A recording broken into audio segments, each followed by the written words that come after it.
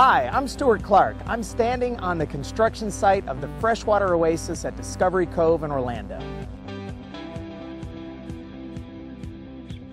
As you can see, we've already made a great deal of progress with this incredible new attraction that is scheduled to open spring 2012. The Freshwater Oasis will allow you to explore and wade through a tropical environment surrounded by lush landscaping and amazing animals in a way that only Discovery Cove can create. The Freshwater Oasis brings two new species to Discovery Cove, small primates known as marmosets and also Asian short-clawed otters. Our marmoset friends will be located out on an island where guests will be able to wade up and experience these animals on trees and swinging all above them. Just an amazing experience that is not like any other in the world. Our Asian otters will be located in their own space within the freshwater oasis, a place where guests will be able to view these animals nose to nose through acrylic panels.